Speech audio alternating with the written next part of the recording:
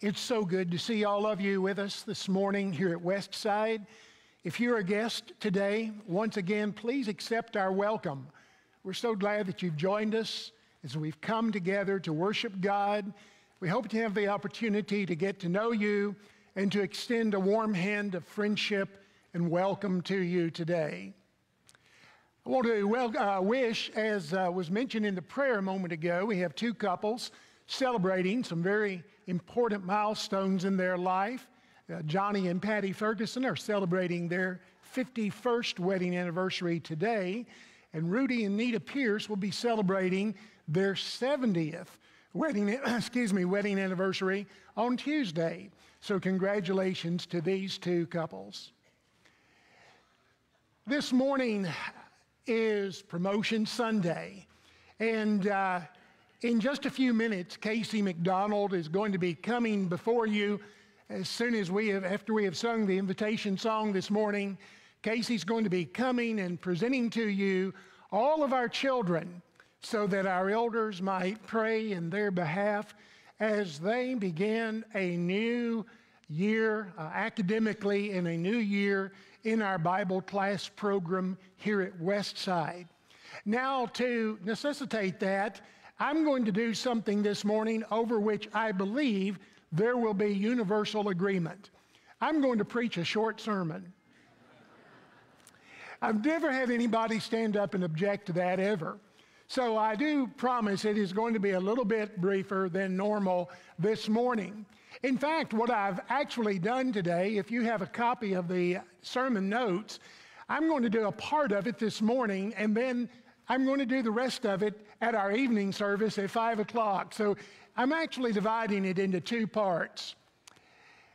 As I have been investigating God throughout these summer months, one of the things that comes over to me again and again is the fact that God is the God who hears.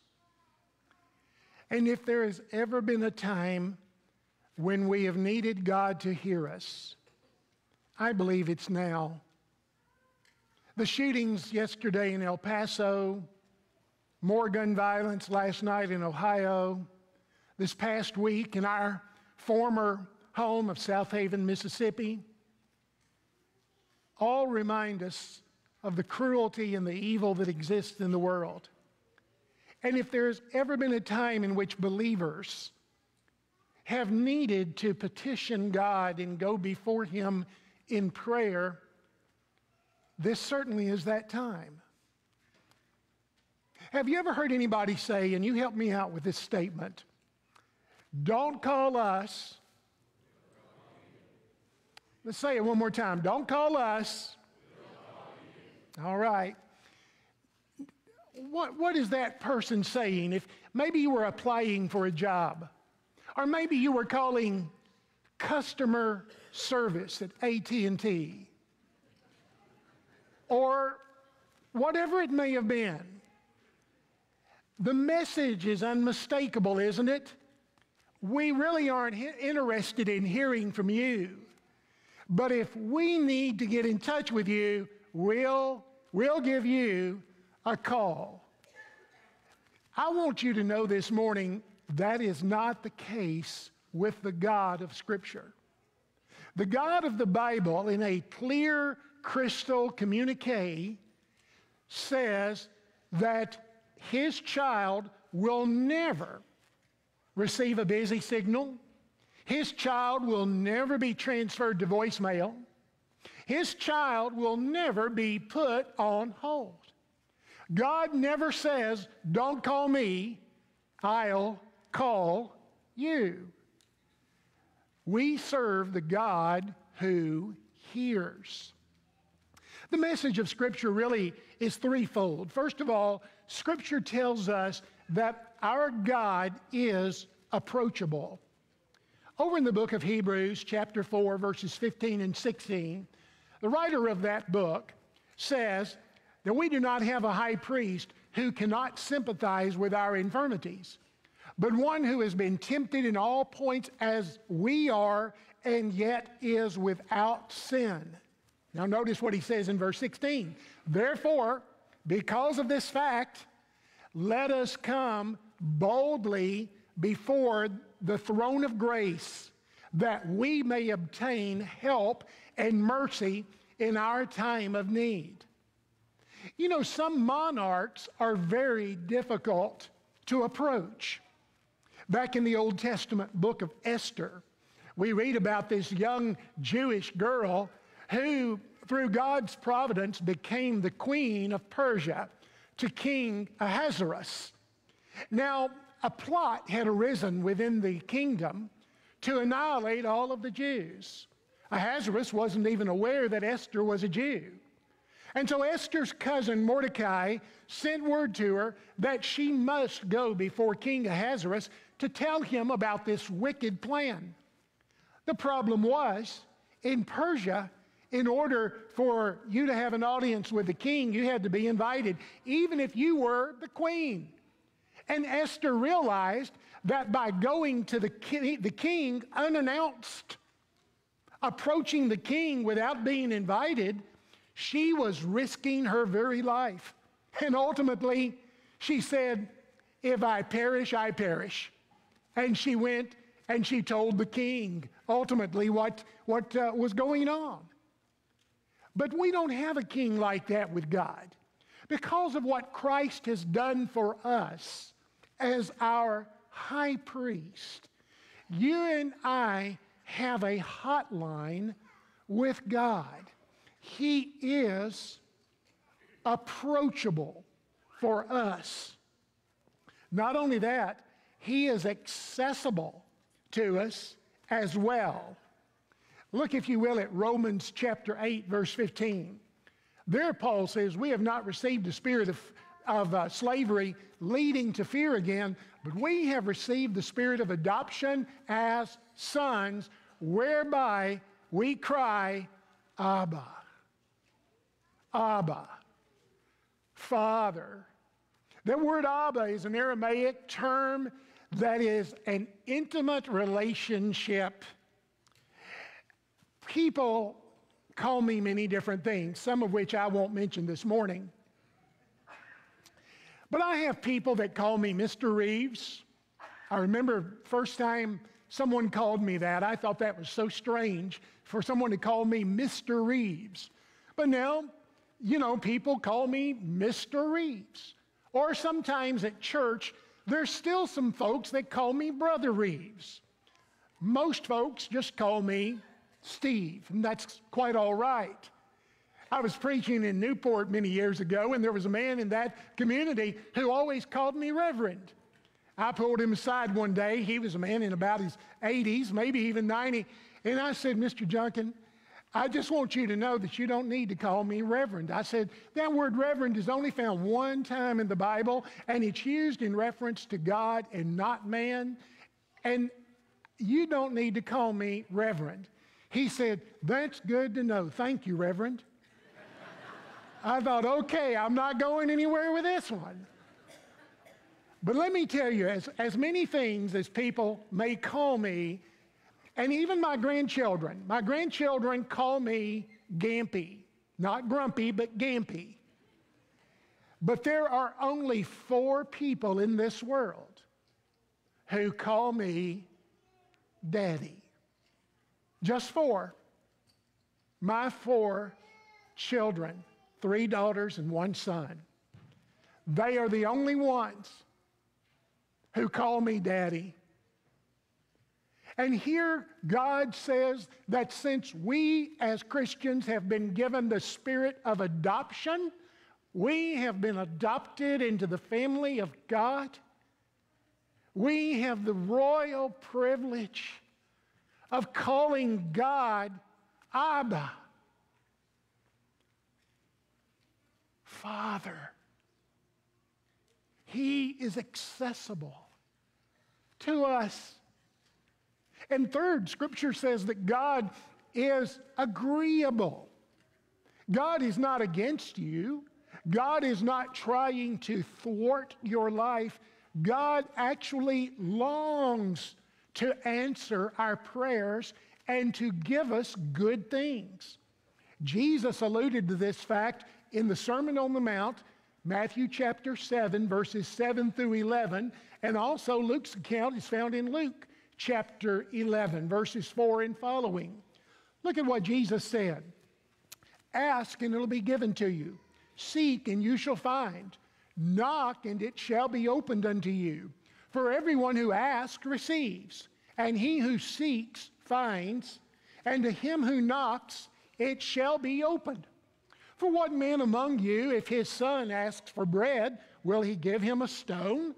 Or if he asks for fish, will he give him a snake? If you, being evil, know how to give good gifts to your children, how much more will your heavenly Father give good gifts to those who ask of him? You see, God is agreeable. God longs to bless us. He longs to answer our prayers. I want to share with you briefly just five scriptures that talk about God's willingness to hear us. Psalm 65, verse 2 Oh, you who hear prayer, all men come or cry out to you. Psalm 1, uh, 116, verse 1 I love the Lord for he has heard my voice and my supplication. Proverbs 15, verse 29. Listen to this one. The Lord is far from the wicked, but he answers the prayers of the righteous. Jeremiah 33, verse 3 Call upon me, and I will hear. I will show you great and marvelous things. And then finally, 1 John chapter 5 verses 14 and 15. John says, This is the confidence we have of him, that if we ask anything according to his will, he hears us. And we know that if he hears whatever we ask of him, we shall receive what we have asked of him. Now, you might say, well, preacher, does that mean that God always answers our prayers in exactly the way that we ask? I have to tell you that there have been a number of times in my life when God did not answer my prayers as I anticipated He would. However, I can also tell you with complete assurance this morning that given the broader perspective of time, I cannot recall a single thing I have ever asked for, but what God did not provide an answer that was just as good, if not better, given the broader perspective of time in my life. This evening, we're going to talk about how God answers, how God hears in times of hardship, how God hears in times of heartache, how He hears in times of hostility, how He hears in times of heartbreak, and how He hears in times of happiness. My father died of cancer in 1985. In just a few weeks before he passed away, he received a letter from my Aunt Helen, who lived in Nashville. Among other things, in that letter, she quoted a, a, a poem. And I remember that poem. I know not by what methods rare, but this I know God answers prayer. I know that He teaches us, uh, I, I know that fervent prayer is heard, it says. I know not if the blessing sought will come in just the way I thought. I know it comes soon or late, therefore I must pray and wait. This morning, I'd like for us to take just a few moments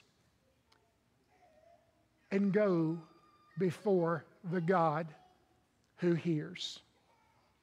Will you pray with me, please?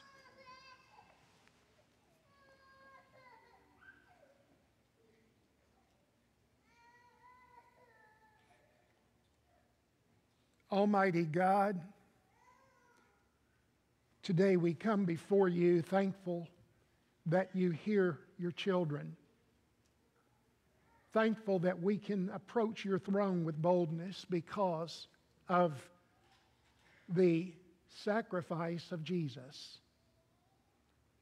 Thankful, Heavenly Father, that you know our hearts, you know our thoughts, and our intentions even when we are unable to express them in human language.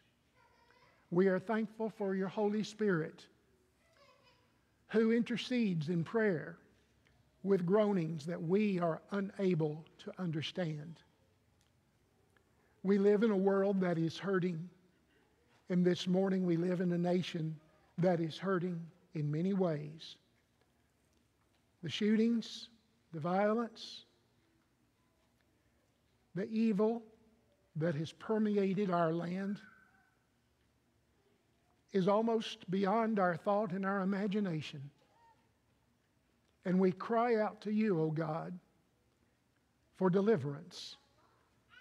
We pray our hope would be that the people of our nation might turn to you but in order for that to happen, we realize that we ourselves must point others in that direction through the lives that we live and the testimony of word and deed.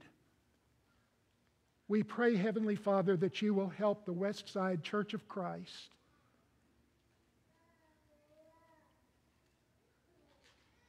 to be a light shining in the midst of the darkness to be salt in the midst of a corrupt world. And we pray, Father, that you will hear. And thank you for answering our prayer. In Jesus' name, amen. My dear friends, this morning, maybe you're here and you're thinking, well, I'm not a Christian. May I urge you today to become a child of God through confessing your faith in the Lord Jesus Christ, turning away from sin in your life, He'll help you to do that. And by being baptized into Christ and raised up to walk in newness of life. And maybe as a Christian, you've gotten off track in your life and you feel as if your prayers are no longer heard by God. I want you to know that God is always willing for you to come back to Him. God has always got His ear open to hear those words Father, I'm coming home. If we can help you today, will you come while we stand and while we sing?